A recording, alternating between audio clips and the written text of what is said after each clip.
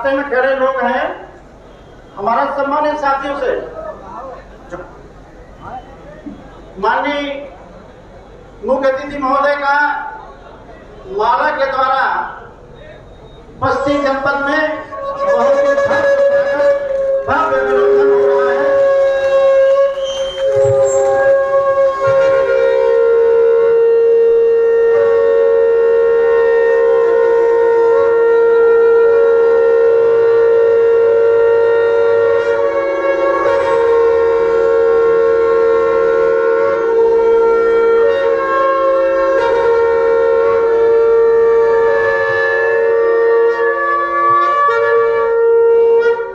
मुख्य अतिथि महोदय का माल्यार्पण द्वारा स्वागत हुआ है हम चाहते हैं कि हमारे बहुजन समाज पार्टी के बहुत ही सम्मानित साथी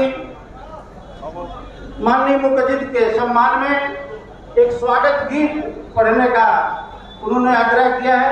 हम चाहते हैं कि माननीय मिश्रा जी के सम्मान में उनके स्वागत में एक स्वागत गीत सम्मानित साथी द्वारा प्रस्तुत किया जाएगा।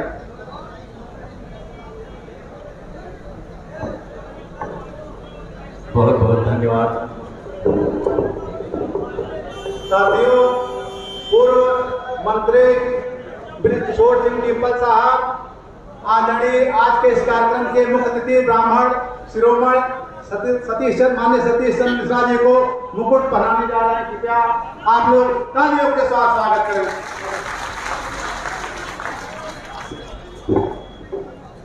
बहुत बहुत धन्यवाद संचालन कर रहे माननीय डॉक्टर ओ पी त्रिपाठी साहब, एक्स एम एल सी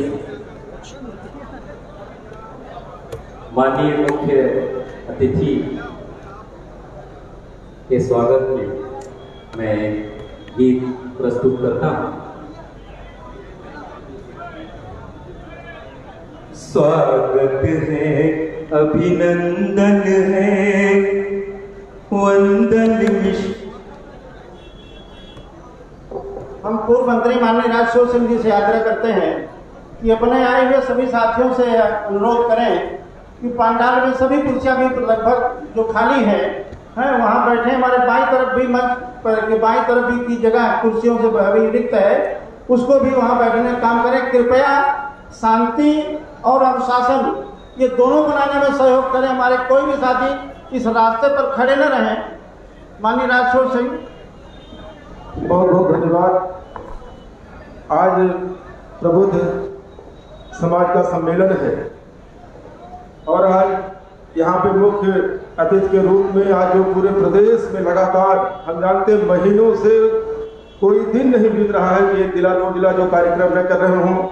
हम लोगों के नेता आदरणीय श्री सतीश मिश्रा जी, राज्यसभा सांसद, आदरणीय नकुल दुबे जी जो पूर्व मंत्री रह चुके हैं और तमाम हमारे अरुण द्विवेदी जी, जो बहुत ही प्रभावशाली इस प्रदेश के नेता हैं, वो भी हमारे बीच में हैं। और मंच पे जितने साथियों साथियों को धन्यवाद देते हैं, खासकर जो हमारे साथी यहाँ आए तमाम प्रबुद्ध समाज के लोग यहाँ बैठे हैं। मैं आप लोगों से हाथ जोड़ के निवेदन कर रहा हूँ, आप लोग बैठ जाइए और जितने लोग खड़े हैं वो लोग भी बैठ जाए यहाँ आकर के, जिससे यह कार्यक्रम शांतिपूर्ण ढंग से चले। और निश्चित जाने में मैं इतना ज़रूर कहना चाहता हूँ आदरणीय मिश्रा जी से कि बस्ती जनपद आपको अपने हाथों में और दिलों में रखता है, केवल दो दिन के कार्यक्रम के लोग घर से इस प्रकार करके आए। हम आपकी तरफ़ से इन लोगों को हृदय से धन्यवाद देते हैं और इन लोगों की तरफ़ से आपको हृदय से प्रणाम करते हैं। बहुत बहुत धन्यवाद।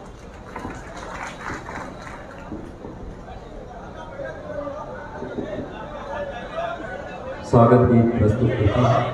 आप लोग शांति बना लें। स्वागत है, अभिनंदन है, वंदन मिश्रा जी। स्वागत है, अभिनंदन है, वंदन मिश्रा जी। आपकी खातिर प्राण हमारे अर्पण मिश्रा जी आपकी खातिर प्राण हमारे अर्पण मिश्रा जी बहन कुमारी मायावती, काले कर संदेश।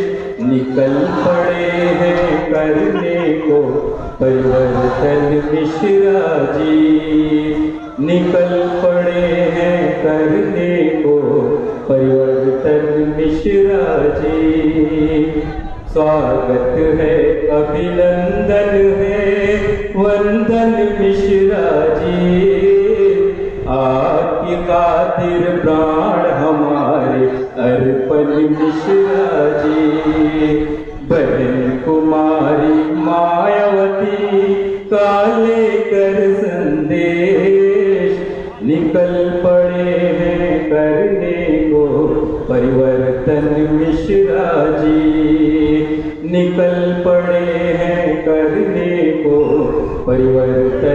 परिवर्तन मिश्रा जी एक बार आप लोग जोरदार तालियाँ बजा दें। निकल पड़े हैं करने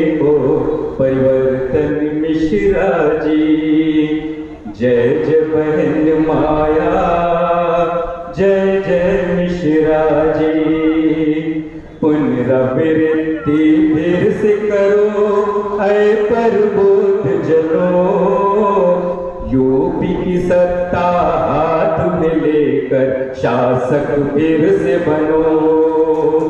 दो हज़ार जब साथ में तुम आए बहना संग, देखने वाले देख के तुमको रह गए बिल्कुल दंग वचन पे प्राण लुटा देते ब्राह्मण मिश्रा जी। स्वागत है अभिनंदन जी शर्मा शुक्ला पाठक जी आए त्रिवेदी जी, जोशी जी और पांडे जी संग आए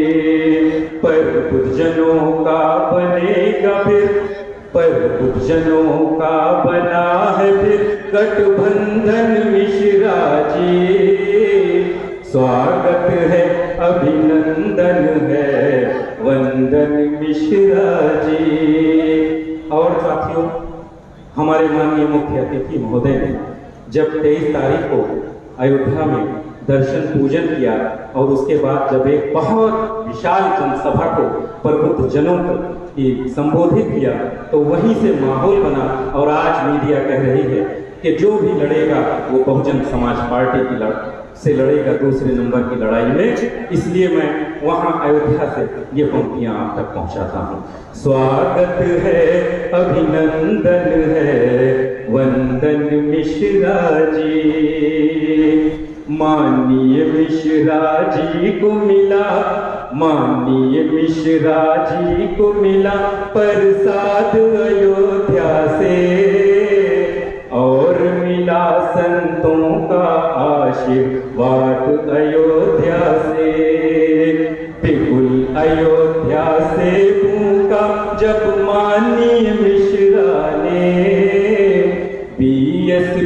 को मिला विजय का स्वाद अयोध्या से। बीएसपी को मिला विजय का स्वाद अयोध्या से। विजय का लेकर आए हैं चंदन मिश्रा जी। स्वागत है अभिनंदन है। वंदन मिश्रा जी। और माननीय नकुल दुबे साहब, पूर्व कैबिनेट मंत्री विराजमान है। मैं ये पंक्तियाँ प्रस्तुत करता हूँ। स्वागत है, अभिनंदन है, वंदन मिश्रा जी। छाया बनकर संग रहते मानिन कुल दुबे। गर्मी सर्दी सब दुख सहते मानिन कुल दुबे चलते नकुल जी संग जैसे हनुमन मिश्रा जी स्वागत है, अभिनंदन है वंदन मिश्रा जी जय जय बहन माया, जय जय मिश्रा जी अंतिम पंक्तियाँ। हमारे मंच पे हमारे तमाम सीनियर लीडरान बहुजन समाज पार्टी के विराजमान हैं। आप सभी की तरफ़ से मैं ये पंक्तियाँ प्रस्तुत करके अपनी जगह लाऊँगा स्वागत है, अभिनंदन है, वंदन मिश्रा जी मानिए ओपी त्रिपाठी जी ने ठाना है। माया बहन को यूपी का सीएम फिर से बनाना है। मानी एमएलसी चंद्रा जी यूपी बचाना है। माया बहन की यूपी के अंदर सत्ता लाना है। मानिए राज किशोर जी ने ये बस्ती मंडल के सारे प्रत्याशी जिताना है। मानिए खरवार साहब ने ये खाना है। बाईस में बहना को विजय का मुकुट पहनाना है। बाईस में पहना को विजय का मुकुट पहनाना है। देने को आए आशीर्वाद गुरुजन मिश्रा जी। स्वागत है, अभिनंदन है, वंदन मिश्रा जी। जय जय बहन माया। स्वागत है, अभिनंदन है, वंदन मिश्रा जी आपकी खातिर प्राण हमारे अर्पण मिश्रा जी बहन कुमारी मायावती, काले कर संदेश। निकल पड़े हैं करने को परिवर्तन मिश्रा जी जय जय बहन माया, जय जय मिश्रा जी, जय जय बहन माया, जय जय बीएसपी बहुत बहुत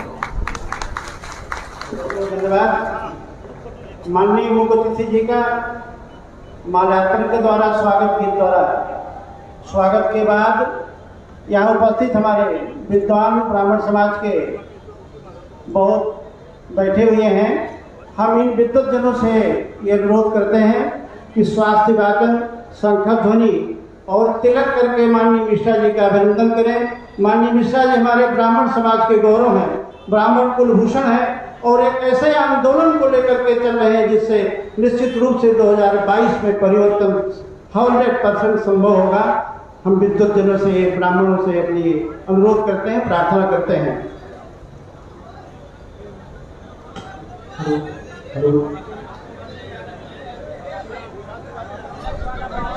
வெளியே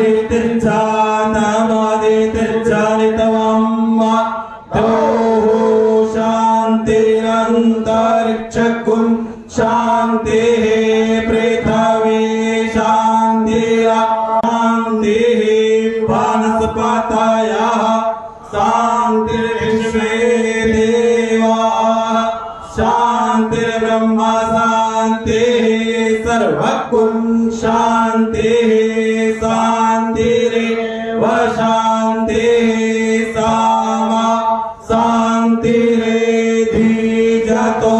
यथा समीहसे।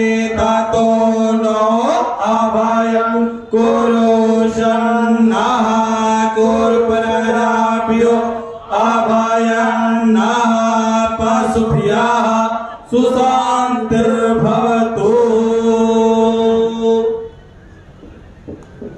स्वास्थ्य वाचन के उपरांत मैं माननीय राजसूर सिंह जी पूर्व मंत्री उत्तर प्रदेश सरकार से अनुरोध करना चाहूँगा कि भगवान परशुराम की प्रतिमा देकर के आज के इस कार्यक्रम के मुख्य अतिथि आदरणीय श्री सतीश चंद्र मिश्र जी का सम्मान करने का कष्ट करें। श्री राजसूर सिंह जी। ब्रज किशोर सिंह जी, पूर्व मंत्री, वीर सेन निषाद जी।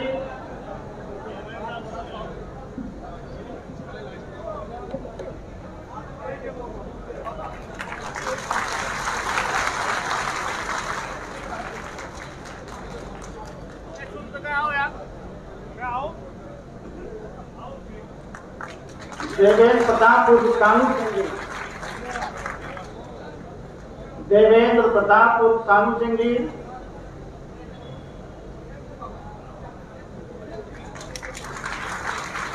जिलाध्यक्ष बस्ती से जय हिंद जी। पुष्पा चंद्रा जी।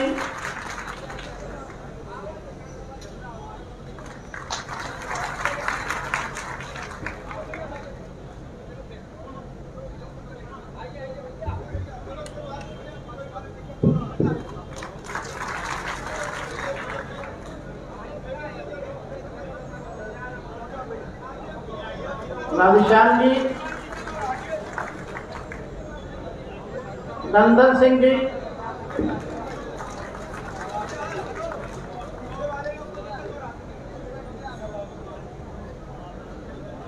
माननीय मुख्य अतिथि का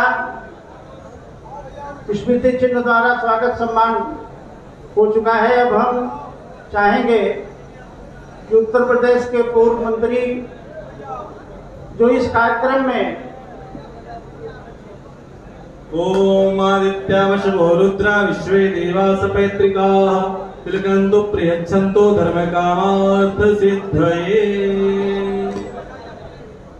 उत्तर प्रदेश सरकार के पूर्व मंत्री और इस आंदोलन में जयंत मिश्रा जी। हनुमान जी की भूमिका मंच पर अदा कर रहे जयंत मिश्रा जी मेरी आवाज़ सुन रहे हैं आप। आप कृपया मंच पर आने की कृपा करें। श्री नकुल दुबे जी से आग्रह करता हूँ कि यहाँ आए हुए इस विशाल सम्मेलन में उपस्थित हमारे प्रबुद्ध जनों को अपने दो शब्द से उनका मार्गदर्शन करने का कष्ट करें। सम्मानित श्री नकुल दुबे जी।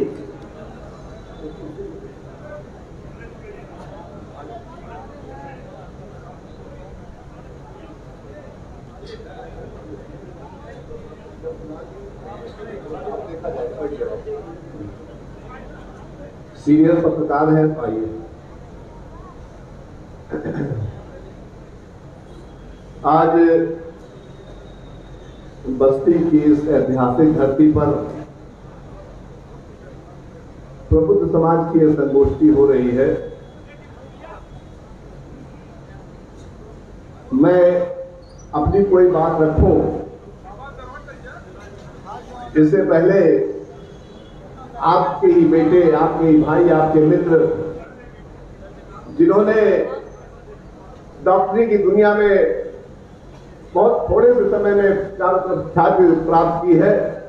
डॉक्टर विश्वनाथ जी जो बस्ती के रहने वाले हैं, मैं उनसे, उनको आमंत्रित करता हूँ कि वो आए और यहाँ पर सर समाज के साथ साथ अपने ब्रह्म समाज को भी अपने उद्बोधन से आह्लादित करने की करें, उनको सम्मानित करने का करें और उनसे अपना क्लेम मांगे भाई डॉक्टर विश्वनाथ जी।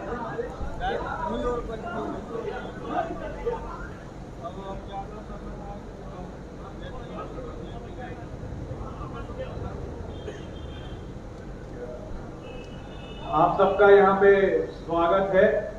अ, हमारे पापा का बस्ती की धरती पे स्वागत है। हम यहीं के पैदाइश हैं यहीं के रहने वाले हरैया के। आप सबका आशीर्वाद चाहेंगे कि आप बहुजन समाज पार्टी को अपना आशीर्वाद दें और पापा के हाथ आप जितने मज़बूत करेंगे, उतना वो यहाँ का विकास और आप लोगों की बातें आगे तक बढ़ा सकेंगे। आप कृपया उनकी बातें को ध्यान से सुने, आगे उसको बढ़ाएँ और और लोगों तक दूर दूर तक इसका संदेश पहुंचाएँ। यही आपसे विनती है। आपका बहुत बहुत धन्यवाद।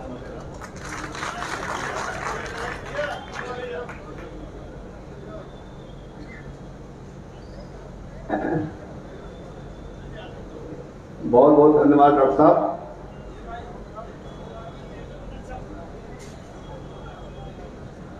माननीय, आज के समारोह के मुख्य अतिथि महोदय ने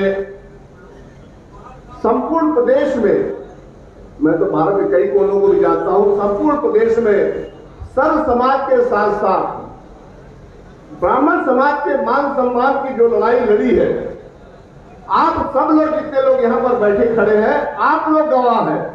कि सन 2004 पाँच के बीच में जब हमारे समाज के साथ इस तरह का अनाचार और व्यविचार हो रहा था तो माननीय सतीश चंद्र मिश्रा जी ने अगुवाई करके सन 2007 में आप सबके आशीर्वाद से आपकी सरकार, बहुजन समाज पार्टी की सरकार उत्तर प्रदेश बनाने का काम किया था। आज आदरणीय बहन कुमारी मायावती जी को सर्व सर्वसम्मत बहुमत मुख्यमंत्री बनाने का कार्य किया था। आज हम सबके बीच में है। आप सब लोग उनके विचारों को सुनने के लिए यहाँ पर संकल्पित है, यहाँ पर आए हुए हैं। मैं आपके और उनके बीच में ज़्यादा देर बाधा न बनते हुए सिर्फ़ एक बात कहना चाहता हूँ। एक बात पूछना भी चाहता हूँ आप सब लोगों से। क्या सन 2017 से लेकर के, खास तौर से 2017 से लेकर के 2021 में उत्तर प्रदेश की जनता को परेशान किया गया कि नहीं किया गया है? मैं आप सबसे जानना चाहता हूँ तो अगर उन्होंने उत्तर प्रदेश की जनता को परेशान किया है तो क्या उनको उत्तर प्रदेश में शासन करने का अधिकार होना चाहिए कि नहीं होना चाहिए? अगर नहीं होना चाहिए तो आइए मेरे साथ आवाज़ लगाइए। माननीय सतीश चंद्र मिश्रा जिंदाबाद। माननीय सतीश चंद्र मिश्रा जिंदाबाद। अगुवाई हम लोग की अगुवाई करने को तैयार है। हम सबको नेतृत्व देने को तैयार है। उत्तर प्रदेश में भारतीय जनता पार्टी को उखाड़ करके उत्तर प्रदेश की सीमा को बाहर पहुँचाने को तैयार है। तो हमारा भी ये कर्तव्य बनता है कि हम माननीय सतीश चंद्र मिश्रा जी के मान सम्मान और उनके साथ के लिए सड़कों पर उतर करके भारतीय जनता पार्टी को उत्तर प्रदेश से बाहर भगाए और संकल्प ले कि सन दो हज़ार बाईस में हम लोग आदरणीय बहन कुमारी मायावती जी को इस उत्तर प्रदेश का पार्टी विभाग मुख्यमंत्री बना करके कानून द्वारा कानून का राज स्थापित करने काम करेंगे। मैं बाधा नहीं बनना चाहता हूँ। मैं तत्काल माननीय मुख्यमंत्री महोदय को आमंत्रित करता हूँ। कृपया माइक पर आए हम सबको आशीर्वाद दें और ये संकल्प दिलाए कि 2022 में हम सब भारतीय जनता पार्टी को उत्तर प्रदेश से उखाड़ करके फेंकने काम करेंगे। माननीय मुख्यमंत्री महोदय। बहुजन समाज पार्टी जिंदाबाद। बहुजन समाज पार्टी जिंदाबाद। बैंक कुमारी मैथिल जिंदाबाद। कुमारी मैथिल जिंदाबाद। माननीय सतीश चंद्र मिश्रा जी जिंदाबाद। माननीय सतीश चंद्र मिश्रा जी जिंदाबाद। माननीय सतीश चंद्र मिश्रा जी जिंदाबाद। माननीय सतीश चंद्र मिश्र जी। मंच पर उपस्थित बहुजन समाज पार्टी के सभी सम्मानित नेतागण आज हम, हमारे लिए एक बड़ा दिन है, इसलिए बस्ती में हम पहले भी आए हैं।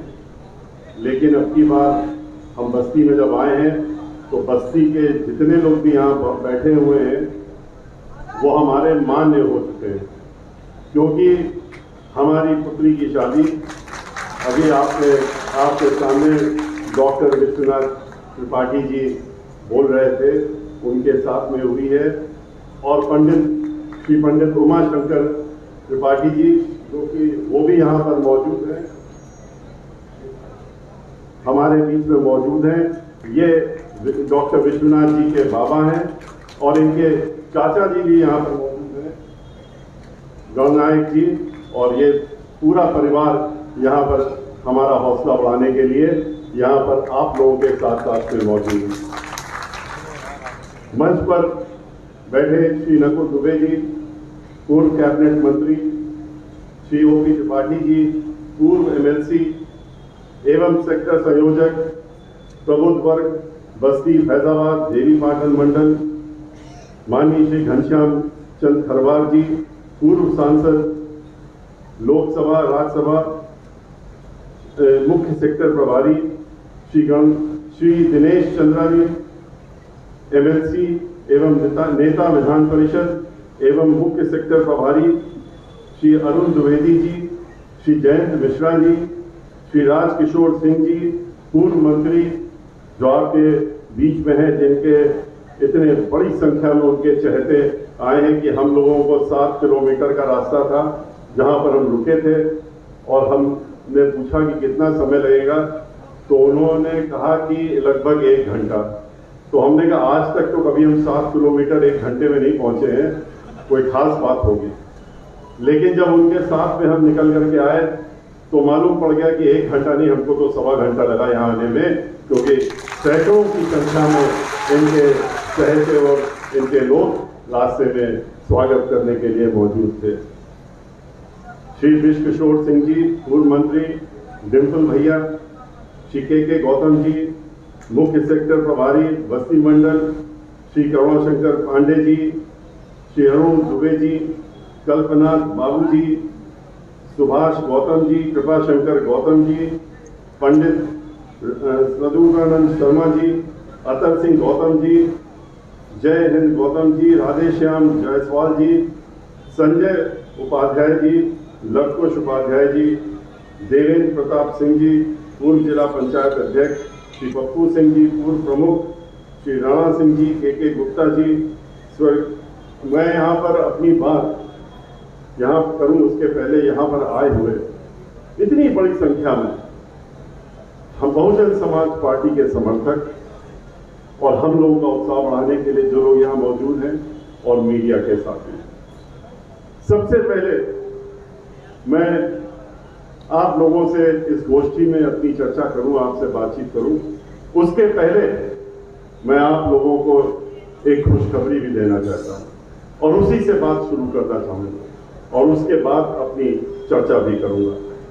माननीय श्री राजकिशोर सिंह जी, हमारे साथ में हमारे छोटे भाई हैं, ये यहाँ पर खड़े हैं, और इनको माननीय बहन मानदी जी द्वारा जो हमारी नेता हैं और हमारी पार्टी की राष्ट्रीय अध्यक्ष हैं, चार बार उत्तर प्रदेश की मुख्यमंत्री रह चुकी हैं और अब ये भी निश्चित हो चुका है कि अगले साल 2022 में वो पांचवी बार उत्तर प्रदेश की मुख्यमंत्री बनने से उनको कोई रोक नहीं सकता है।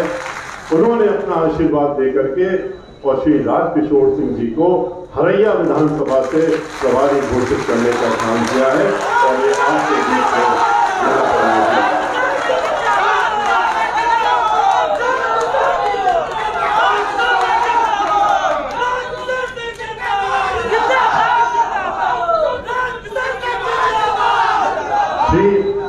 श्री श्री राजकिशोर सिंह जी बस्ती में इत, इतने चहते हैं कि इनको एक विधानसभा में हम लोग नहीं बाँध पा रहे हैं। हम लोगों ने सोचा था कि हरैया विधानसभा से चुनाव लड़ेंगे और हरैया विधानसभा को में देखने का काम करेंगे और अपनी जीत हासिल करने का काम करेंगे। लेकिन इनकी शख्सियत को देख करके और जिस तरह से यहाँ पर पूरे बस्ती ज़िले में इन ये चहते हैं सबके इसको देख करके इनके कंधों पर बहुत बड़ी ज़िम्मेदारी डाल दी गई है पार्टी के द्वारा कि ये बस्ती की पाँच की पाँचों सीटें जिताने का जिम्मा श्री राजकिशोर सिंह जी ने अपने कंधे पर लेने का काम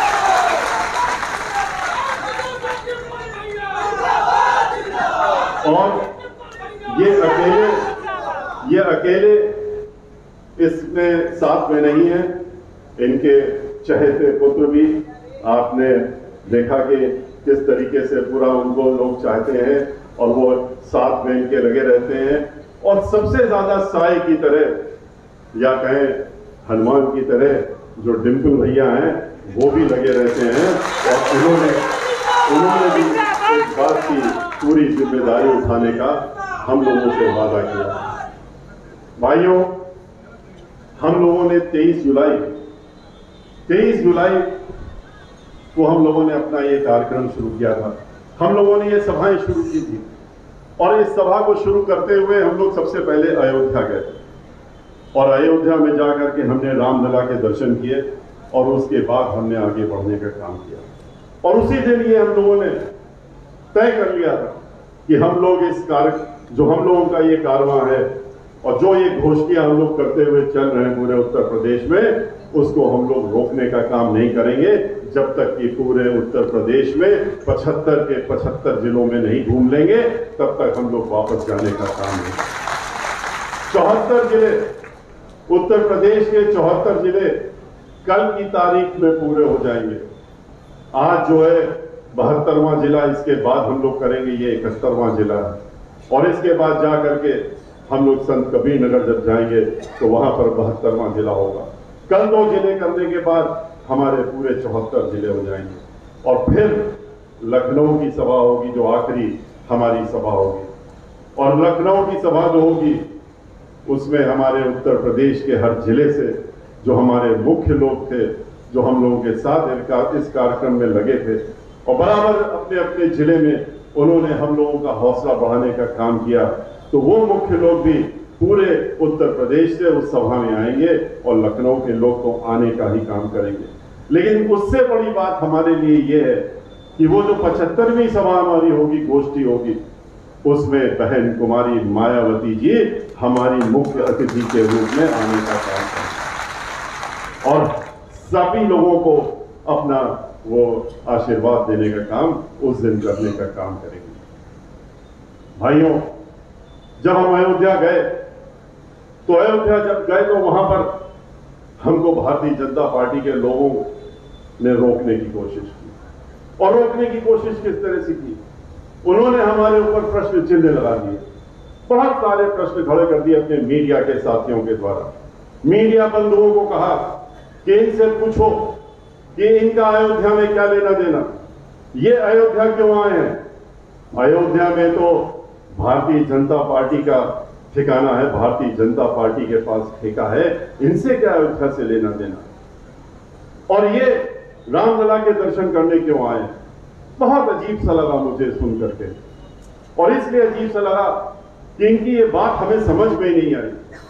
क्या श्री भगवान का, भगवान राम का कोई ठेका ले सकता है? क्या उनके बारे में ठेकेदारी कोई कर सकता है? क्या उनके दर्शन कराने के लिए कोई ठेकेदारी कर सकता है? हम लोग तो ब्राह्मण समाज में पैदा हुए लोग हैं।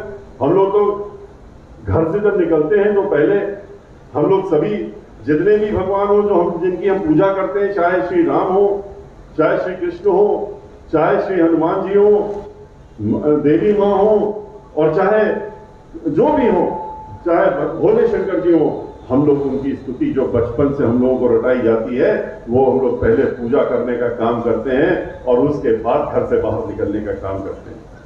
हम लोगों के तो संस्कार पैदा होने से ही डाल दिए जाते हैं कि आप घर से ही निकलेंगे जब तक इनकी स्तुति नहीं करेंगे।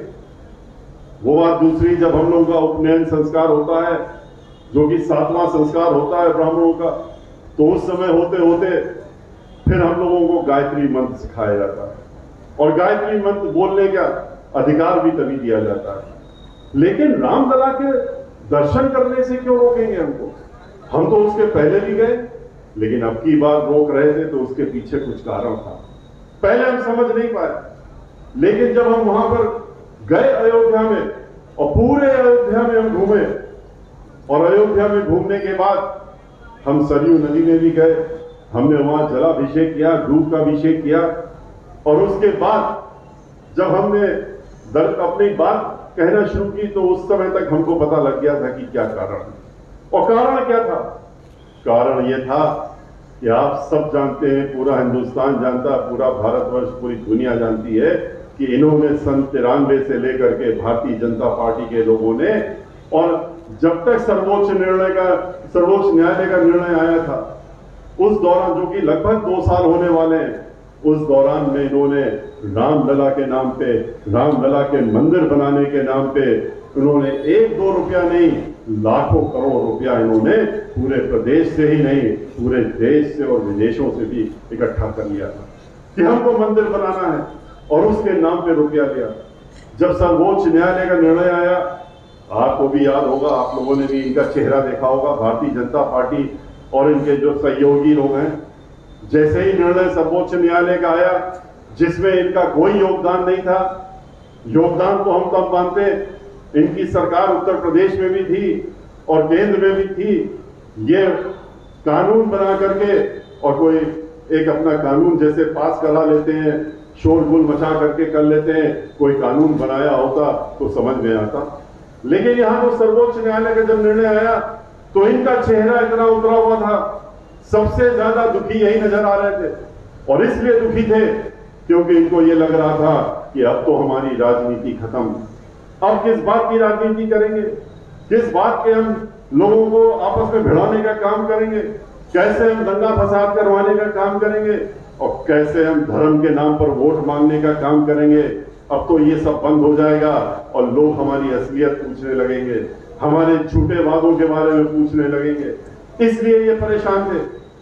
और जब सर्वोच्च न्यायालय का निर्णय आ गया तो उसके बाद इन्होंने किया, लगभग एक साल बाद, पिछले साल 5 अगस्त 2020 को इन्होंने एक बड़ा भारी कार्यक्रम किया अयोध्या में, और उस कार्यक्रम में इन्होंने दिखाने का काम किया, लगभग 200 250 करोड़ रुपए खर्च किए, और ये दिखाने का काम किया कि देखिए हम तो मंदिर बनाने जा रहे हैं, हम मंदिर की शुरुआत कर रहे हैं, और इसलिए हम भूमि पूजन कर रहे हैं। हम न्यू का पूजन कर रहे हैं। लेकिन जब हम वहाँ पर गए तो हमको तब पता लगा कि वहाँ तो ना कोई भूमि, जहाँ पूजन किया था, वो भूमि दिख रही है, ना कोई न्यू दिख रही है। वहाँ तो सिर्फ़ ज़मीन दिख रही है। न्यू तो इन्होंने ये भी कहा था कि एक साल निकल जाने दीजिए, अगले साल आप मंदिर में आकर के पूजा करिएगा। हम तो मंदिर देखने गए थे। मंदिर कहाँ से बनेगा? जब वहाँ पर अभी न्यू बनना भी शुरू नहीं हुई है। पहला गड्ढा भी नहीं खोदा गया है तो न्यू क्या बनेगी और मंदिर क्या बनेगा? लेकिन मंदिर के नाम पे इन्होंने आपने देखा कि पिछले वर्ष से लेकर के अभी तक इन्होंने फिर से लोगों को झोला लेकर के पूरे देश में भेज दिया, उत्तर प्रदेश में भी भेज दिया और कहा कि जाओ घर घर और राम के नाम पर वो रुपया मांगो और रुपया इसलिए मांगो तो कि हमको मंदिर बनाना पुराना रुपया कहाँ गया? अगर फिर से रुपए की ज़रूरत पड़ गई, उसका क्या हिसाब है? वो हिसाब देने को तैयार नहीं होते। हैं और क्या है कि इन्होंने फिर से दस हज़ार करोड़ रुपए से ज़्यादा राम के मंदिर के नाम पे फिर से ले लिया, फिर से इकट्ठा कर लिया। और करा क्या था? भूमि पूजन के नाम पे धोखा देते हुए पाँच ईंटों का पूजन किया था। फिर से पुरानी तस्वीरें उठा के देख लीजिए, फिर से पुराने यूट्यूब में खोल करके देख लीजिए, पाँच ईंटों का पूजा की थी। उन ईंटों का ईंट पूजन किया था और वो ईंटें कहाँ गई? ये भी किसी को नहीं पता। सरयू नदी में डाल दी या फिर अपने पास इन्होंने कहीं अलमारी में बंद कर ली, तिजोरी में बंद कर ली, किसी को नहीं मालूम, लेकिन मंदिर की तो शुरुआत भी नहीं हुई। हमने तो सोचा था कि अयोध्या सोने की नगरी बन गई होगी, क्योंकि हज़ारों करोड़ हज़ारों करोड़ जब भी बजट पारित होता है उत्तर प्रदेश का पिछले साढ़े चार वर्षों से सरकार हज़ारों करोड़ रुपया निकालती है। अभी पिछले महीने भी बजट पारित किया। उसमें भी सैकड़ों करोड़ रुपया फिर से निकाला। किस बात के लिए? अयोध्या के लिए। अयोध्या को ठीक करने के लिए। अयोध्या को, नगर को ठीक करने के लिए। इसीलिए हम तो सोच रहे थे, इतने हज़ारों करोड़ रुपए अयोध्या में लग गए हैं। हम अयोध्या को घूमेंगे तो मिलेगा हमको तो वहाँ सोने की नगरी मिलेगी। लेकिन वहाँ पर क्या था? सिवाय गड्ढे, सिवाय गंदगी वहाँ पर अयोध्या में एक भी काम इन्होंने किया हो तो वो सामने नज़र आता। इन्होंने कोई भी काम नहीं किया। आप उत्तर प्रदेश का सबसे खराब से खराब जिला चुन लीजिए, जो आपको सबसे खराब लगता हो। वैसे तो आज पूरा उत्तर प्रदेश की ही छीछा लेदर है। आपके क्षेत्र में भी और आसपास भी, और कहीं भी चले जाइए, हम तो पूरा उत्तर प्रदेश अपनी गाड़ी से ही घूम करके हर ज़िले ज़िले गए हैं। सभी जगह का बुरा हाल है। कहाँ पर कौन सा विकास किया है, कहीं समझ में ही नहीं आता है। हर ज़िले में गए, हर ज़िले का बुरा हाल है। लेकिन अयोध्या अयोध्या का तो जो सबसे बुरा जिला उत्तर प्रदेश का होगा, उससे ज़्यादा बुरा हाल अयोध्या का है।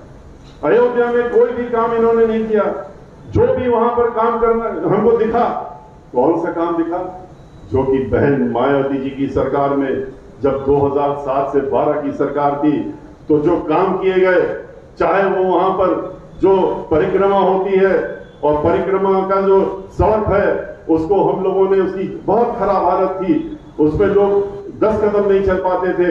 उसको बहन मायावती जी ने निर्देश दे करके और उसको ठीक ही नहीं कराया, उसको चौड़ा करा करके 12 मीटर करने का काम किया।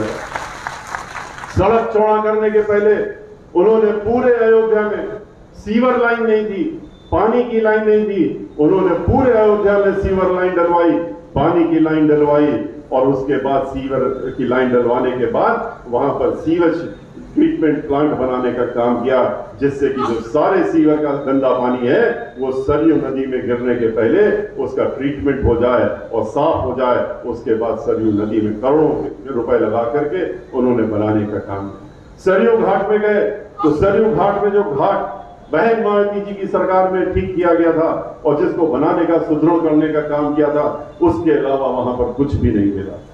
वो घाट के जहाँ पर ये हर वर्ष जाते हैं, अभी फिर दीपावली आ रही है, अभी कोई और कार्यक्रम होगा, ये वहाँ पर पहुँच जाएँगे। माननीय मुख्यमंत्री जी जाएँगे, और लोग, बहुत लौ लश्कर के साथ में जाएँगे, और वहाँ दीपक जलाने का काम करेंगे। कहेंगे कि तीन करोड़ दीपक जला दिए। पिछले वर्ष हमने दो करोड़ जलाए थे। अब की तीन करोड़ जला दिए और इससे कहेंगे कि वाहवाही हो गई। अरे तीन करोड़ दीपक तुमने जलाए हैं। इन तीन करोड़ में जो तीस करोड़ रुपए खर्चा किए जाते हैं उस कार्यक्रम में और पूरा मिला करके कार्यक्रम में सौ करोड़ रुपया खर्चा किया जाता है उस कार, उस रुपए को अगर अयोध्या नगरी में लगा दो तो वो अयोध्या नगरी सुधर जाएगी और वहाँ पर भगवान राम की नगरी सुधरने का काम करेगी। ये दीपक भी जो जलाते हैं वो कुम्हारों का दीपक नहीं उनको पसंद आता है। वो दीपक भी चाइना से मंगाया जाता है और चाइना से मंगा करके उस दीपक को जलाने का काम करके और वाहवाही लेने का काम करते हैं।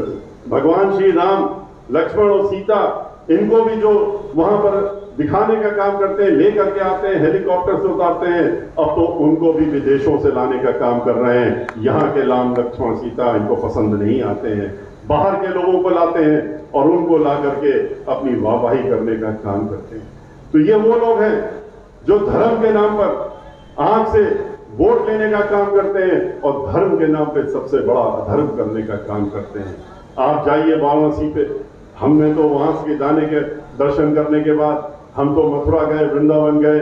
मथुरा, वृंदावन करने के दर्शन करने के बाद फिर हम वाराणसी गए। वहाँ पर भोले शंकर के हमने दर्शन किए, उसके बाद हम चित्रकूट धाम गए और वहाँ पर भी दर्शन किए और उसके बाद हम फिर पूरा घूम करके आपके बीच में आए।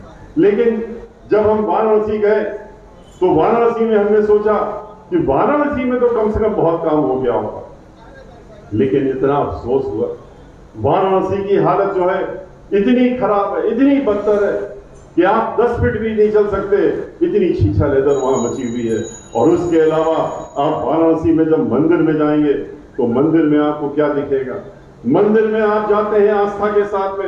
हज़ारों वर्षों पुराने मंदिर, जहाँ पर कि भोले शंकर स्वयं रहते हैं और जहाँ पर लोग कहते हैं कि वहाँ जा करके वाराणसी में इसीलिए भोले शंकर के दर्शन करके लोग वहीं पर आखिरी वक्त में रुक जाते हैं, जिससे उनको सीधे बैकुंठ धाम मिलता है। लेकिन उस स्थान को भी इन्होंने तोड़ फोड़ कर दिया। वहाँ पर भी विध्वंस फैला दिया। उस मंदिर में, उसके इर्द गिर्द में जो प्राण प्रतिष्ठित मूर्तियाँ थी, इन्होंने उनको हटाने का काम किया। प्राण प्रतिष्ठित मूर्तियों को छूना वर्जित है।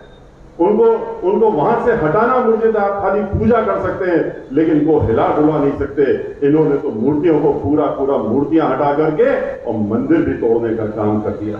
चाहे माँ पार्वती की मूर्ति हो, और चाहे माँ अन्नपूर्णा देवी जी की हो, और चाहे वहाँ पर गणेश जी की मूर्ति हो, हनुमान जी की मूर्ति हो, ये सारी मूर्तियाँ जो आसपास में थी, उनके उसी उसी घेरे में उन सबको इन्होंने हटा करके वहाँ के मंदिरों को भी तोड़ दिया। और इतना ही नहीं, वहाँ पर वट वृक्ष जो था बरगद का पेड़, जिसमें ब्रह्मा, विष्णु, महेश तीनों वास करते हैं, इन्होंने उस वृक्ष को भी बुलडोजर लगा करके और उसको उखाड़ करके फेंकने का काम किया। एक कॉरिडोर बनाने के नाम पे कितने मंदिर तोड़ दिए? दुकानें तोड़ दी 400 दुकानें तोड़ दी। लोगों को बेरोजगार कर दिया जो सैकड़ों वर्षों से पुश्तैनी काम वहाँ पर करते थे। आज वो सड़कों में भीख मांगने के लिए मजबूर हो रहे हैं। मंदिर के मंदिर तोड़ दिए। कॉरिडोर के रास्ते में बनाते हुए तोड़ते चले गए और उसमें शिवलिंग जो थे, उन जो सैकड़ों की संख्या में निकले, उनको मलबे के साथ में इन्होंने गंगा नदी में डालने का काम किया और जो नहीं फेंक पाए, उनको ले जा करके बोरे में बंद करके और लंका थाने में इन्होंने बंद करने का काम किया है। इन्होंने उसको कॉरिडोर को, एक मंदिर को, अब आस्था का स्थान बदल करके, और आस्था की जगह अब उसको एक पर्यटक स्थल बनाने की योजना बन रही है। उसी तरीके से विंध्यवासिनी जी में भी ये पहुँच गए हैं, बुलडोजर लेके।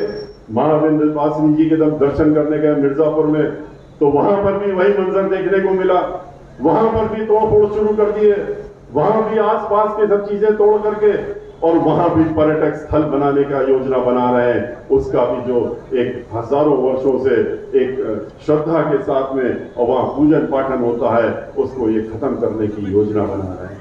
ये चाहते क्या है ये समझ में नहीं आ रहा। आप वृंदावन जाइए। वृंदावन में देखिए जाकर के। वृंदावन में आपको दिखेगा, जिस तरह से वाराणसी में हम लोगों ने जब काम देखने गए तो वही देखने को मिले।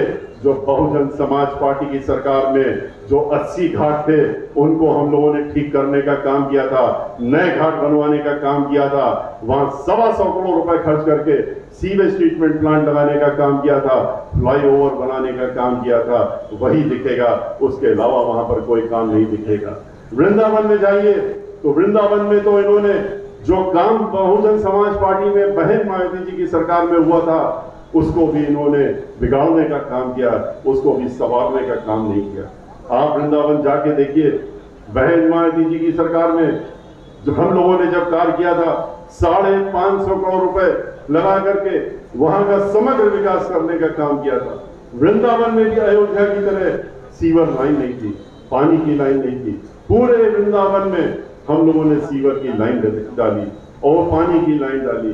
वहाँ पर भी पंचकोशी, जिस तरह से अयोध्या में होता है, वहाँ पर तेरह कोसी वहाँ पर जो यात्रा होती है और उसमें परिक्रमा होती है, वहाँ से लेकर के और गोवर्धन पर्वत तक, उसको हम लोगों ने ठीक करने का काम किया। उसको चौड़ा करके सुधारने का काम किया।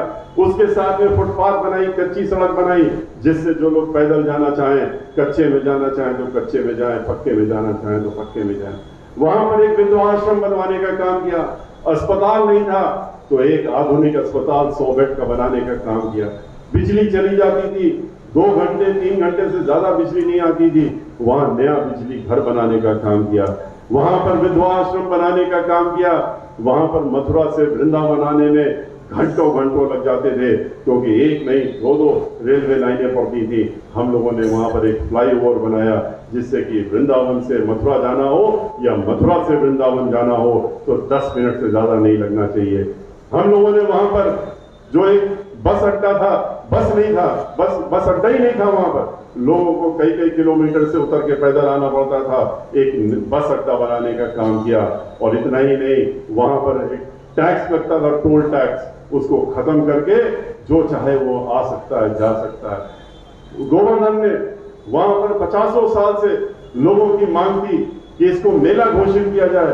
सरकारी मेला घोषित किया जाए, हम लोगों ने उसको सरकारी मेला घोषित करने का काम किया। हमारे और इनमें यही फ़र्क है। हम लोग जो है, ढोल नहीं बजाते हैं धर्म के नाम पे, आस्था के नाम पे, हम लोग काम करने का काम करते हैं। और ये लोग खाली वोट के लिए नाम लेने का काम करते हैं, नोट लेते हैं और वोट लेते हैं और उसके बाद उनको भूल जाते हैं। आपने देखा कि बिठूर में, कानपुर में जहाँ माँ सीता रही थी जाके वाल्मीकि आश्रम महेश वाल्मीकि आश्रम में।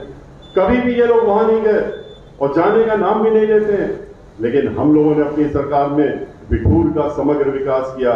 चाहे महेश वाल्मीकि जी का आश्रम हो और चाहे सीता जी का मंदिर हो सीता रसोई हो और चाहे वहाँ का समग्र विकास हो बिजली की व्यवस्था सड़क की व्यवस्था सब करने का काम किया। समग्र विकास करने का काम किया। इनके साथ में तो पता नहीं क्या बात है। ये ए, इन्होंने राम के साथ में कभी भी सीता का नाम नहीं लिया।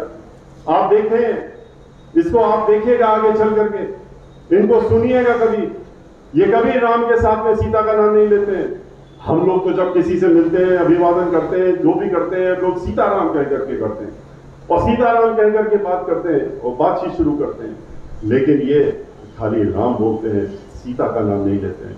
जैसे इन्होंने वाराणसी में माँ पार्वती जी को अलग कर दिया, अकेले उनको छोड़ दिया, माँ पार्वती को हटा दिया वहाँ से। इनकी क्या सोच है?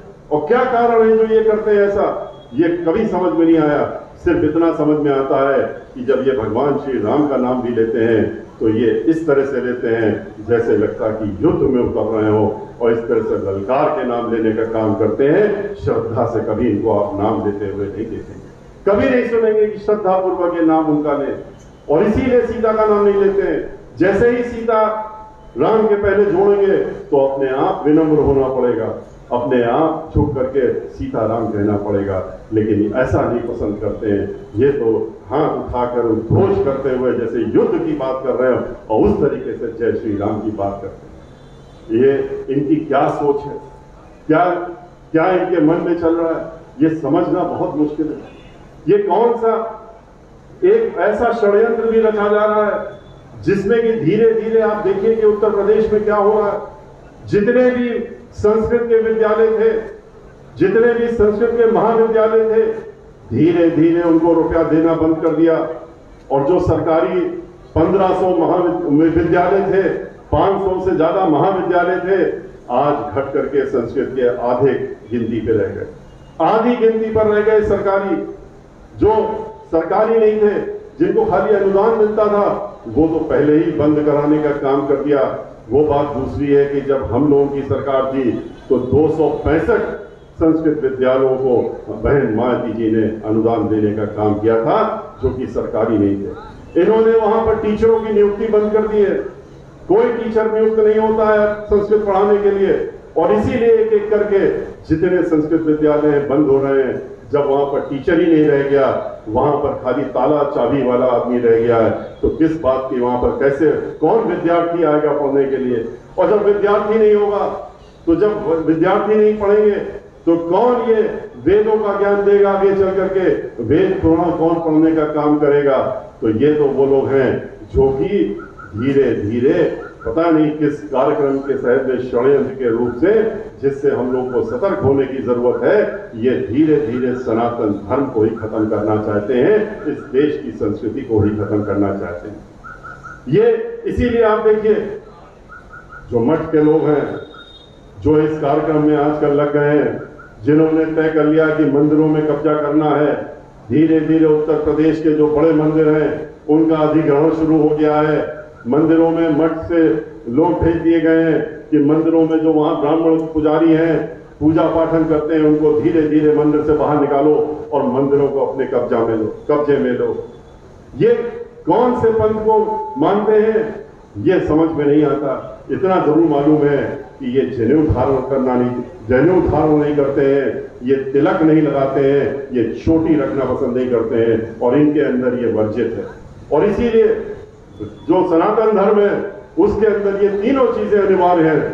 और अनिवार्य होने की वजह से ये हम लोगों को जो सनातन धर्म है, उसको धीरे धीरे खत्म करने की योजना बना रहे हैं और इससे हम लोगों को सतर्क रहने की ज़रूरत है। इनका असली चेहरा समझने की ज़रूरत है। ये वो लोग हैं जो झूठे वादे करके आपके पास फिर से आएँगे, फिर से आपसे वोट मांगने का काम करेंगे। ठीक उसी प्रकार से जैसे पहले आए थे और कहा था, पंद्रह लाख रुपए हर एक के खाते में चले जाएँगे। हमको वोट दे दो, अपना खाता खोल के देख लेना, पंद्रह लाख रुपए विदेशों से ला करके दे देंगे। आज तक इतने वर्ष हो गए, एक नया पैसा भी किसी के खाते में आया हो तो कोई बताएगा? जब आया ही नहीं तो क्या बताएगा?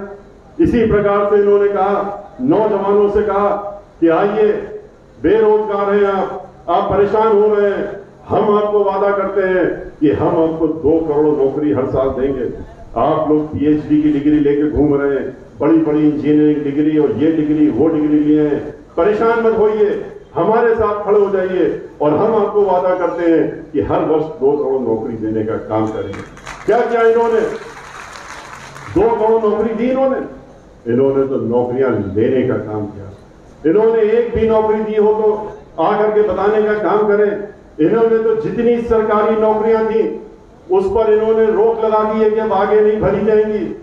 और जितने भी सरकारी उपक्रम थे, जहाँ पर नौकरियाँ लोगों को मिलती थी, पूरे देश की धरोहर थी, जो आपकी धरोहर है, जो पिछले सत्ता वर्ष, सत्तर वर्षों में आपने बनाने का काम किया, अपने टैक्स दे दे करके, चाहे वो जितने भी सार्वजनिक उपक्रम हो चाहे ओएनजीसी हो ऑयल इंडिया हो गैस अथॉरिटी हो रेलवे हो तो रेलवे को भी प्राइवेट कर दिया।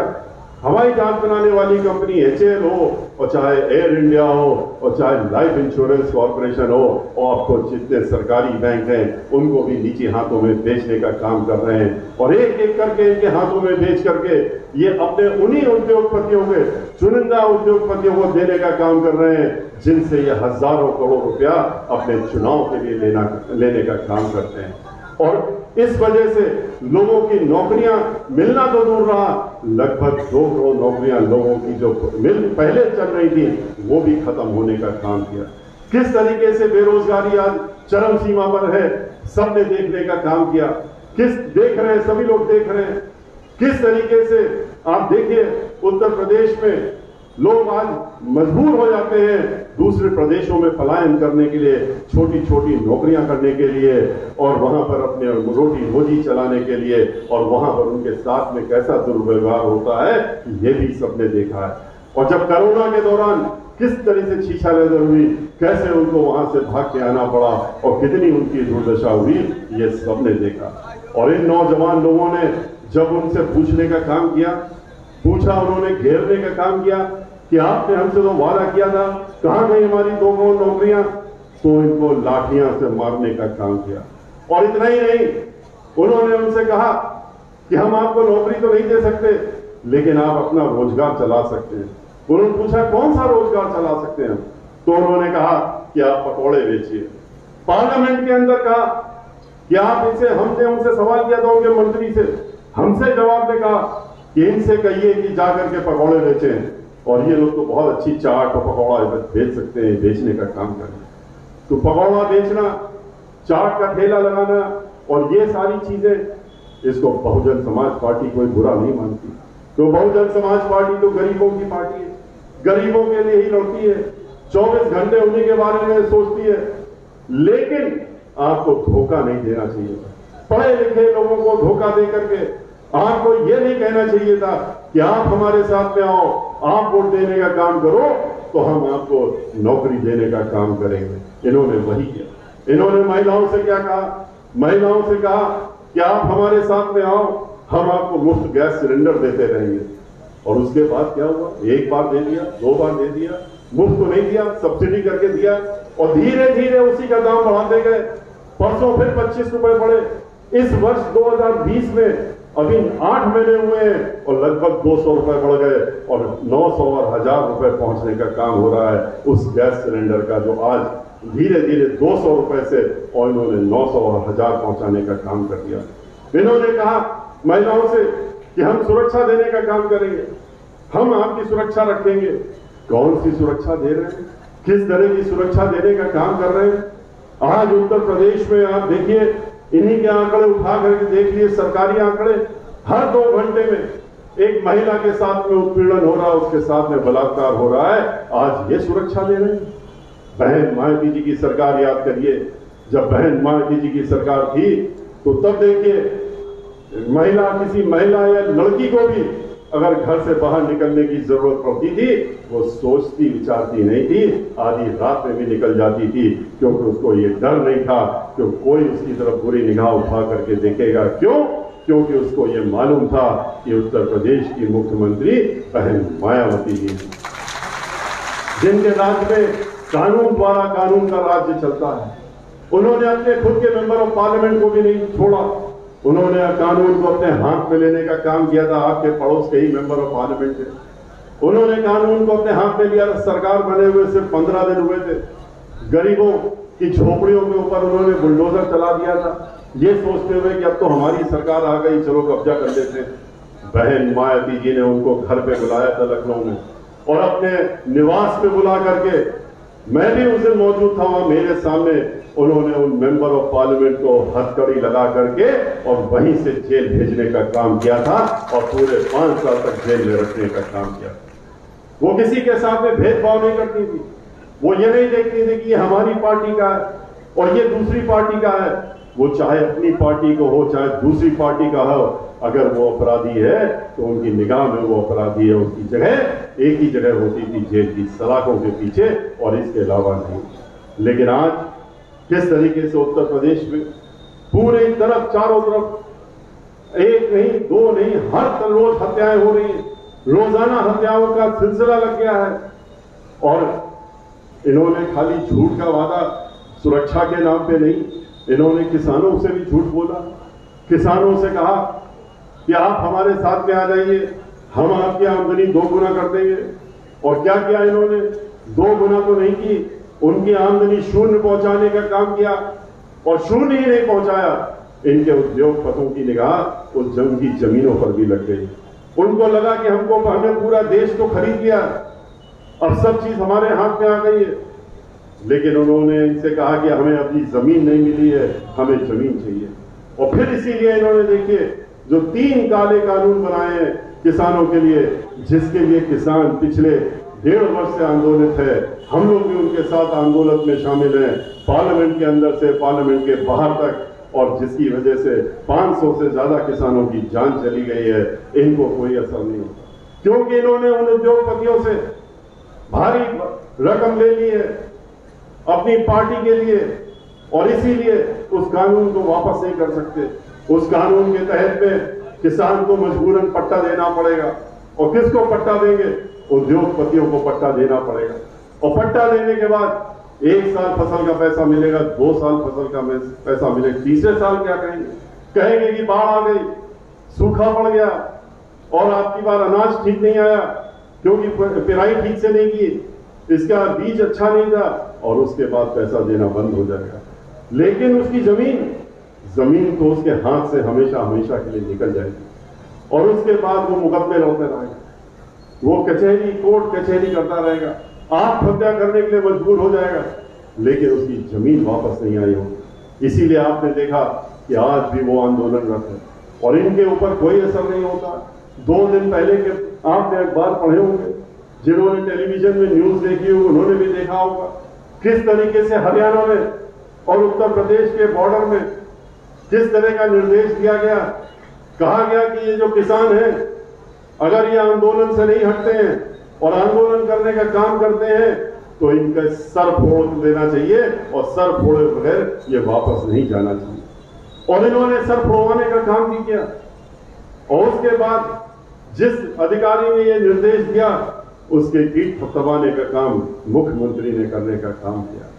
एक व्यक्ति तो मर गया उसी समय। कितने लोग घायल पड़े?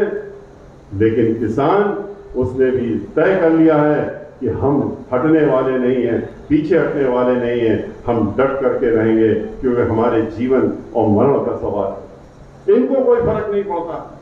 आप बहन मायावती जी की सरकार देखिए और इनकी सरकार देखिए। समाजवादी पार्टी की सरकार देखिए। समाजवादी पार्टी की सरकार 2003 से और 2007 के बीच की याद करिए और 2012 से 2017 की याद करिए। जैसे ही समाजवादी पार्टी की सरकार जब जब आती है तो उसके आते ही पूरे उत्तर प्रदेश में गुंडा राज, माफिया राज, डकैती, फिरौती, लूटपाट बलात्कार, दंगा, फसाद, हर चीज़ शुरू हो जाती है। और यही सारे कार्य भारतीय जनता पार्टी भी कर रही है। इसीलिए हम लोग कहते हैं कि भारतीय जनता पार्टी और समाजवादी पार्टी ये एक ही सिक्के के दो पहलू हैं। इनमें कोई फ़र्क नहीं है।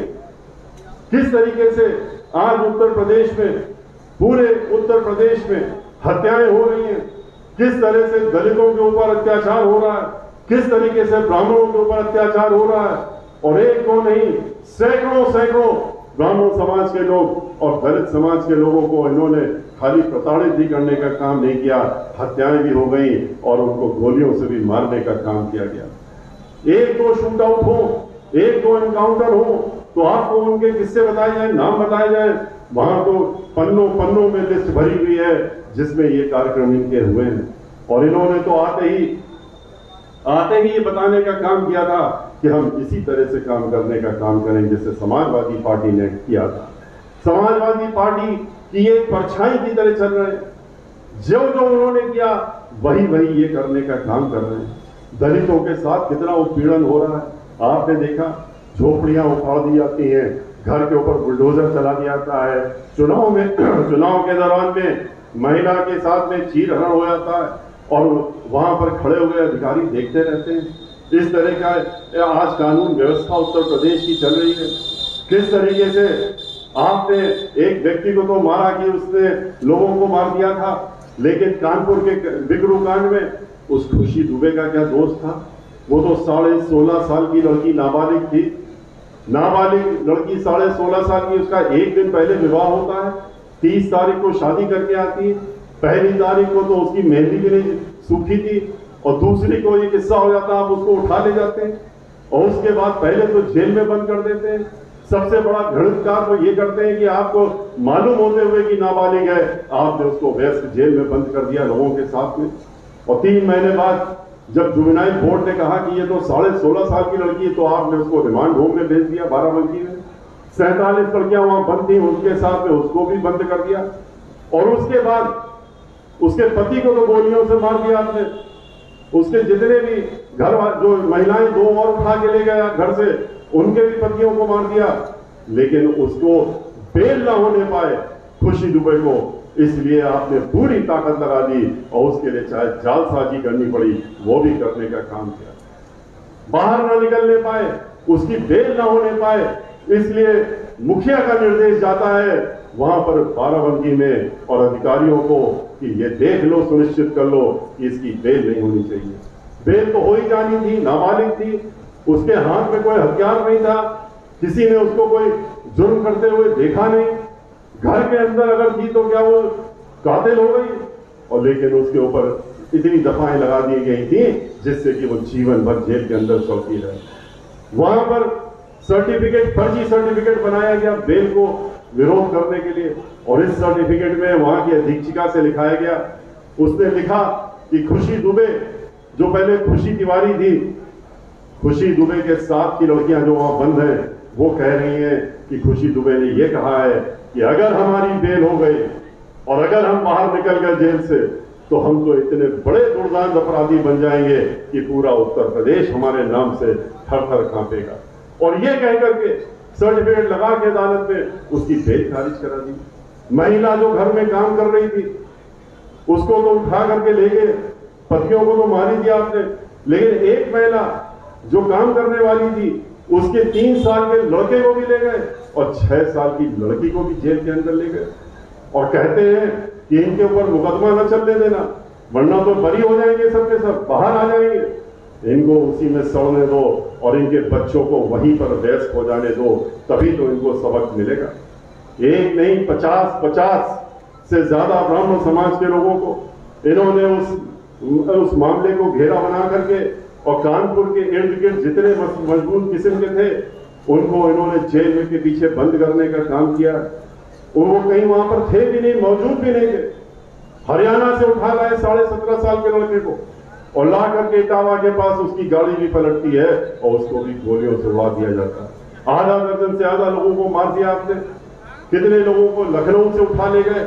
माँ बाप के देखभाल करने के लिए आया था।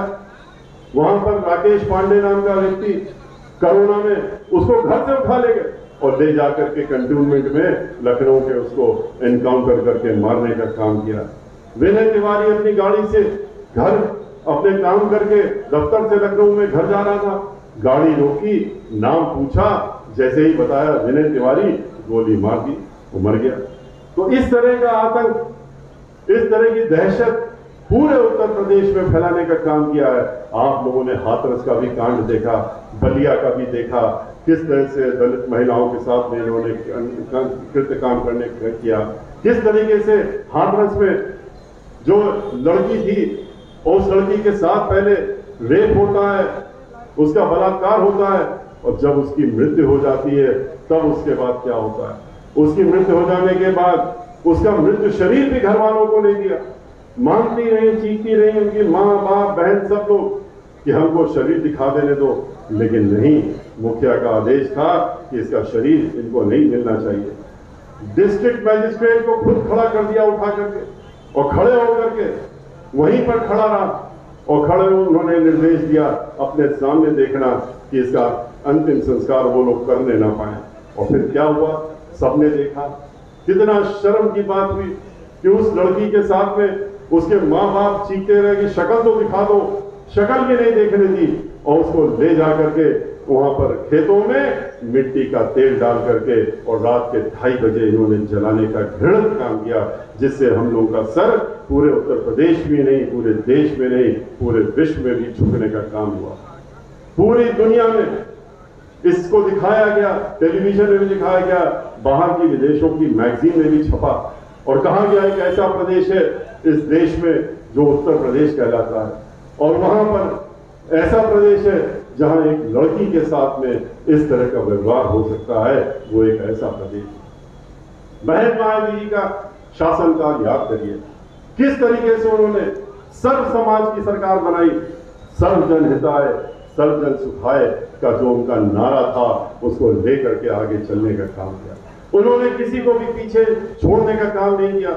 कोई ऐसा समाज का नाम नहीं आप ले सकते, जिसको जब पूर्ण मोहम्मद की सरकार बनी है तो बहन मायावती जी ने उनको उचित स्थान देने का काम न किया हो। चाहे वो मंत्रीगण हो, चाहे वो नेता हो, चाहे वो संतरी हो, और चाहे कोई भी हो, उन्होंने सर्व समाज को अपनी नीति के तहत करने का काम किया। ब्राह्मण समाज उनके साथ में एकजुट हुआ था। एक साथ एकजुट होकर के जैसे इस बार पूरे उत्तर प्रदेश में ब्राह्मण समाज इकट्ठा हो रहा है। एक साथ हो गया है। और हर ज़िले में जहाँ भी हम जा रहे हैं, एक साथ एकजुट होके और वो हमारे साथ में और बहन मायावती जी के साथ में खड़ा उस समय भी हम पूरे उत्तर प्रदेश में गए थे और पूरे समाज के लोग हमारे साथ में खड़े हुए थे। बहन मायावती जी के साथ में खड़े हुए थे।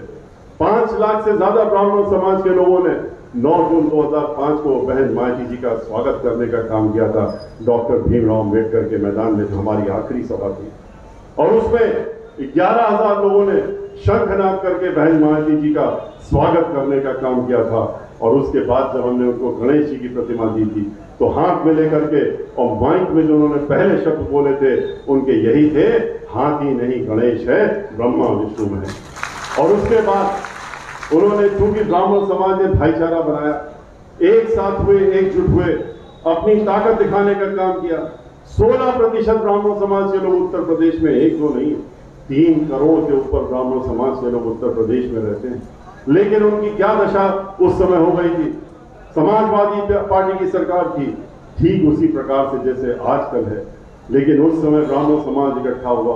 बहन मायावी जी के साथ में, भाईचारा बना के, और भाईचारा किसके साथ में बनाया उन्होंने? सबसे पहले दलित समाज के जो हमारे भाई बहन जो 23 प्रतिशत हैं, उनके साथ, जिनके साथ में अन्य समाज के लोग पहले से ही जुड़े हुए हैं। और चाहे वो बैकवर्ड समाज के लोग हों, अपर कास्ट के समाज के लोग हों, और चाहे वो मुस्लिम समाज के लोग हों, वो सब लोग अल्पसंख्यक समाज के लोग हों, वो पहले से जिनके साथ में जुड़े थे, उनके साथ में भाईचारा बनाया और उसके बाद पूर्ण बहुमत सरकार बना करके दिखाने का काम किया।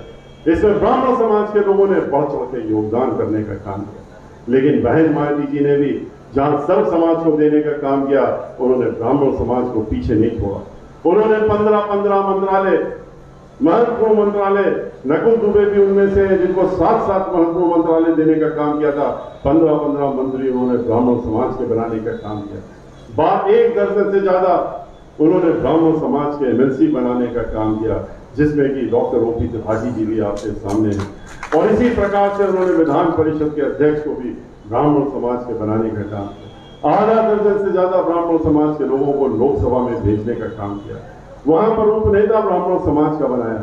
उन्होंने हमको राज्यसभा में पिछले सत्रह वर्षों से अपना पार्टी का नेता बना के रखा हुआ है और लोकसभा में भी इस समय ब्राह्मण समाज के रितेश पांडे को उन्होंने पार्टी का नेता बना के रखा हुआ है। पाँच हज़ार से ज़्यादा सरकारी वकील महाधिवक्ता से लेकर, अतिरिक्त महाधिवक्ता से लेकर के नीचे तक उन्होंने ब्राह्मण समाज के लोगों को सरकारी वकील बनाने का काम किया था। उच्च न्यायालय इलाहाबाद, उच्च न्यायालय लखनऊ और जितने भी जिला की अदालतें थी, उसमें सरकारी वकील बना करके उनका मानदेय बढ़ाते हुए और बहन मायावती जी ने देने का काम किया। उन्होंने उत्तर प्रदेश का, उन्होंने ब्राह्मण समाज का जो खोया हुआ मान सम्मान था और स्वाभिमान था, उसको उन्होंने लौटाने का जो वादा किया था कि आप भाईचारा बना रहे हो, हमारे साथ में आ रहे हो तो ये मेरी ज़िम्मेदारी है, उसको उन्होंने पूरी तरह से निभाने का काम किया और जितना सोचा भी नहीं था, उससे ज़्यादा बढ़ाने का काम उन्होंने उत्तर प्रदेश का समग्र विकास करने का काम किया। उन्होंने कोई एक जगह काम नहीं किया। जो हमने आपको स्थान बताए खाली उनको ही नहीं किया था उन्होंने। जो आस्था के स्थान है, उसके अलावा उन्होंने साढ़े उनतीस हज़ार गाँव, जो ग्राम सभाएँ हैं जो कि डॉक्टर अंबेडकर के नाम से हैं, उनका समग्र विकास करने का काम उत्तर प्रदेश में किया। उन्होंने उनतीस हज़ार से ज़्यादा प्राइमरी स्कूल नए बनाने का काम किया। पाँच हज़ार जूनियर हाई स्कूल, पाँच हज़ार हाई स्कूल बनाने का काम किया नए। उन्होंने तेईस तेईस ज़िले बनाने का काम किया उत्तर प्रदेश में। और जब नया जिला बनता है तो उसका समग्र विकास होता है। वो बहन मायावती जी ने करने का काम किया और उनका, जिससे कि आगे उनकी तरक्की हो सके उन स्थानों की, उन्होंने उनको नए जिलों में बनाने का काम किया। उन्होंने एक दर्जन से ज़्यादा नए मेडिकल कॉलेज बनाए और उन्होंने साथ साथ अंतरराष्ट्रीय स्तर की यूनिवर्सिटी भी बनाने का काम किया और उसमें तो एक यूनिवर्सिटी उन्होंने लखनऊ में ऐसी बनाई जो विश्व में अपने आप की अकेली यूनिवर्सिटी है और वो डॉक्टर शकुंतला मिश्रा के नाम से जहाँ विकलांगजनों के लिए उन्होंने यूनिवर्सिटी बनाने का काम किया। जहाँ की लड़की ने अभी चार दिन पहले पढ़ी हुई लड़की ने जो बिल्कुल नहीं देख सकती है टोटली ब्लाइंड है, पूरी तरह से दृष्टिबाधित है, उसने अभी आपने देखा कि जो अमिताभ बच्चन का शो चलता है सोनी टीवी में, उसमें उसे कौन बनेगा करोड़पति ने, वहीं की लड़की ने वहाँ से एक करोड़ रुपया जीतने का काम किया और उसने कहा कि ये देन इस यूनिवर्सिटी की है, जो हमारे लिए वरदान की तरह से हमारे लिए बनी और हमको इसका फ़ायदा मिलने का काम किया। इसका श्रेय किसको जाता है? बहन मायावती जी को जाता है, जिन्होंने 175 एकड़ में इस यूनिवर्सिटी को बनाने का काम किया। बहन मायावती जी ने जहाँ उत्तर प्रदेश में बाकी सब विकास किया, बिजली की व्यवस्था को भी सुधारने का काम बहन मायावती जी ने किया। छह हज़ार मेगावाट बिजली का उत्पादन उत्तर प्रदेश में होता था। उसको बढ़ा करके उन्होंने साढ़े तेरह हज़ार मेगावाट पहुँचाने का काम किया। नए कारखाने लगा करके। बनाने का। एक्सप्रेस वे बनाया मेट्रो बनाया, नोएडा को उन्होंने विदेशों से भी ज़्यादा अच्छा शहर बनाया। लखनऊ आप जाते हैं, आप देखते हैं कि किस तरह की तरक्की उन्होंने करके दिखाने का काम किया। वो सब बहन मायावती जी के द्वारा। इनकी सरकार में या समाजवादी पार्टी की सरकार में एक भी आपको चीज़ नहीं मिलेगी कि कौन सी चीज़ की तरफ़ ये निगाह उठा करके दिखाएँगे, उंगली उठा करके दिखाएँगे कि ये काम हमने भी किया है। ये कोई काम नहीं करते हैं, सिर्फ़ अपने दिखावे का काम करते हैं। ये अपने ऊपर विज्ञापन में तीन सौ करोड़ रुपया हर माह खर्च करते हैं, जिसके जो आरटीआई की सूचना के तहत निकल के आई है सूचना। 300 करोड़ हर महीने अपना विज्ञापन दिखाते हैं। जो आप, जो अखबार उठाइए, पहले पन्ने से लेकर आखिरी पन्ने तक एक झूठा विज्ञापन होता है।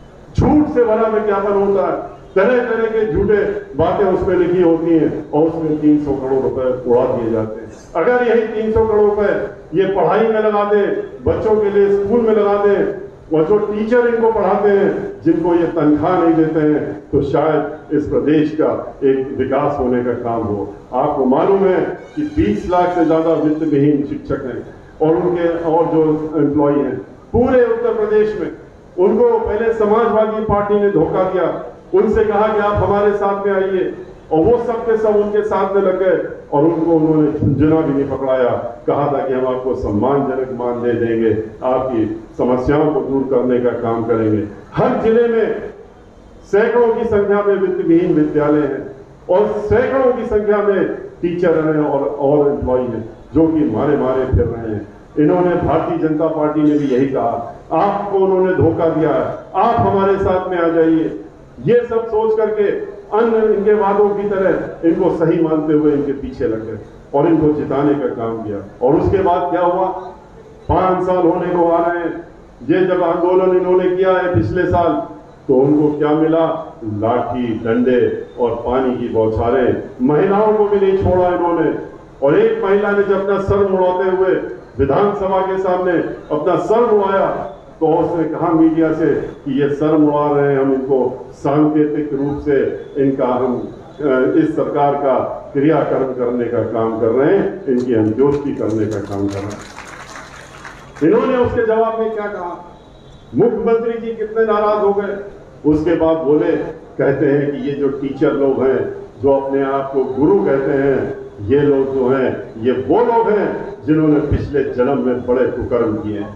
ये कुकर्मी लोग हैं, और इसीलिए इन्होंने पाप किए थे पिछले जन्म में, और इसीलिए ये अध्यापक बने हैं, और इसीलिए इनकी ये दशा हो रही है। इनकी तो अभी और दुर्दशा होगी, इनको अभी आगे देखना पड़ेगा। इस तरह की सोच रखते हैं लोग, और उसी की जगह बहन मायावती जी के पास जब हम इन लोगों को लेकर के गए, इनके पूरे प्रदेश के जो लोग थे, मुख्य लोग उनको लेकर के उनके पास गए, और इनकी समस्या उनके सामने रखी पिछले महीने तो उन्होंने गंभीरता पूर्वक इनकी जब सारी बातें सुनी तो उसी समय उन्होंने ये कहने का काम किया, वो तो खुद भी अध्यापिका रह चुकी हैं। वकालत की उन्होंने एडवोकेट भी हैं, अध्यापिका भी रह चुकी हैं। तो उन्होंने उसी समय कहा कि हमें इनका दर्द मालूम है, हमें मालूम है क्या परेशानी इनको हो रही है, और इतना अफसोस है कि इनको इस तरह से धक्के खाने पड़ रहे हैं। अब की बार हमारी सरकार आने दो, और हम तीन महीने के अंदर इनका ये सारी समस्याओं को दूर करने की ज़िम्मेदारी हमारी है। और सब जानते हैं कि बहन मायावती जब कहती हैं, फिर वो करके दिखाती हैं। इसको प्रेस में भी देने का काम किया, प्रेस नोट भी जारी किया। इसलिए आपसे हमारा अनुरोध है कि इनका असली चेहरा पहचानिए, इनका मुखौटा मत देखिए।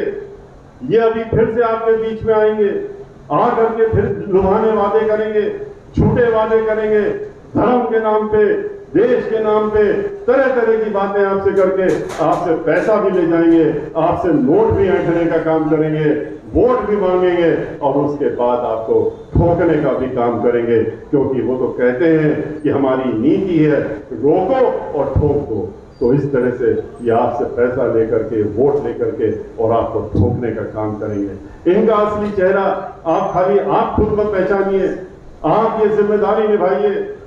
खाली हमारी जिम्मेदारियाँ नहीं है कि हम आपसे बात करें और आपसे कह करके आप अपनी हमारी बात सुने और आप चल दें। इन बातों को आपने जो सुना है, इन बातों को ध्यान में रखिए और ध्यान में रख करके इन बातों को यहीं पर छोड़ के मत चले जाइएगा।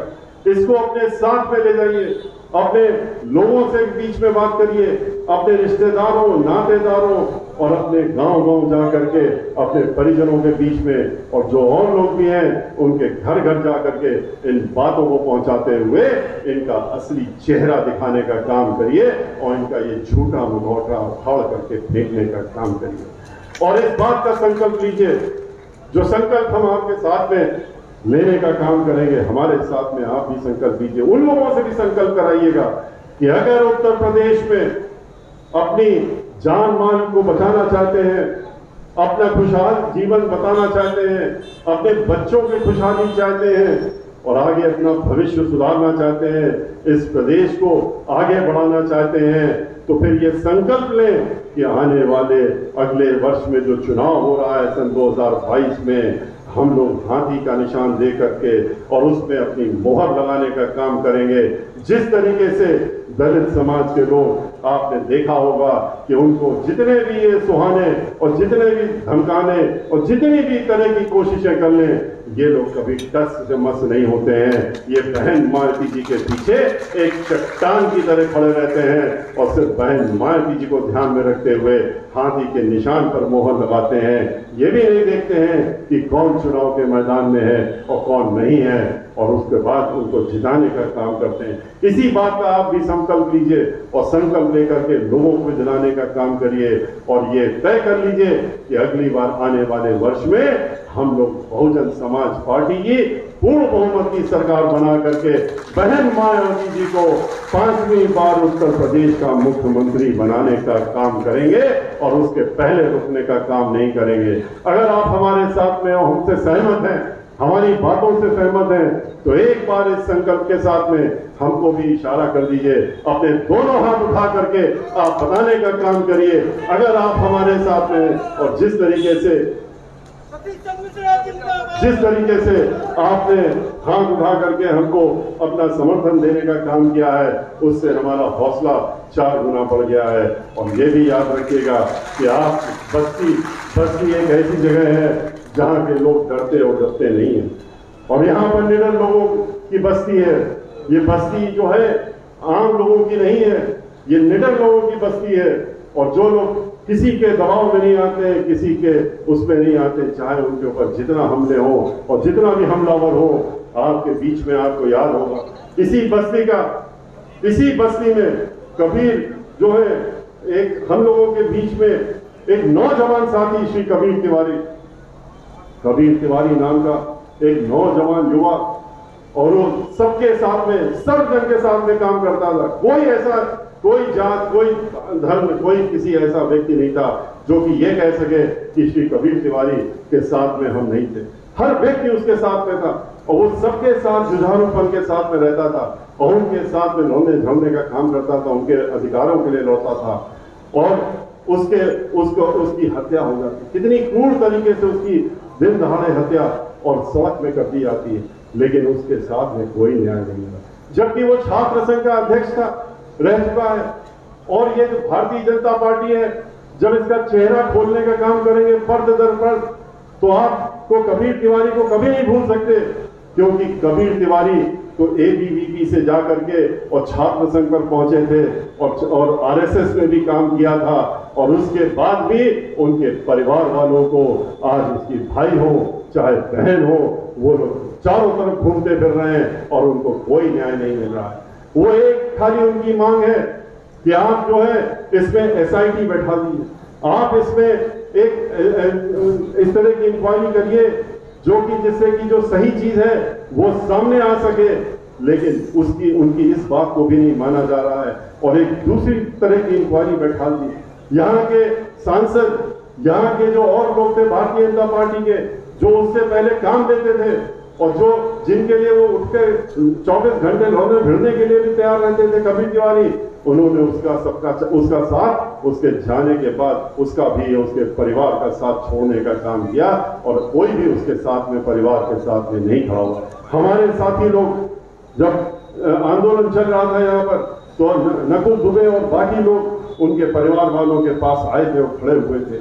लेकिन आज वो लड़ाई लड़ रहे हैं, वो अकेले लड़ाई लड़ रहे हैं। लेकिन हम उनको बताना चाहते हैं कि उनको अकेले लड़ाई नहीं लड़नी पड़ेगी। उनको भारतीय जनता पार्टी के लोगों ने जो धोखा देने का काम किया है और उनके परिवार वाले लोग जो आज घर घर भटक रहे हैं, परेशान हो रहे हैं, उनको परेशान होने की अब ज़रूरत नहीं है। ये भूल जाए, उम्मीद भी छोड़ दें कि उनको भारतीय जनता पार्टी से कोई उम्मीद, कोई उनको न्याय मिलने वाला है। ये वो पार्टी है जो कि इस्तेमाल करती है और इस्तेमाल करने के बाद अगर अपने ही लोगों को छोड़ना पड़े तो एक सेकंड नहीं लेती है और उनको छोड़ करके पीछे चल, मुड़ के भी नहीं देखती है। ये उनमें से ये पार्टी है, भारतीय जनता पार्टी। और इसीलिए मैं उन लोगों के परिवार वालों से कहना चाहता हूँ कि आप लोग चिंतित ज़रूर हैं, आप अपनी लड़ाई लड़ रहे हैं, लेकिन आप छह महीने का और इंतज़ार करिए।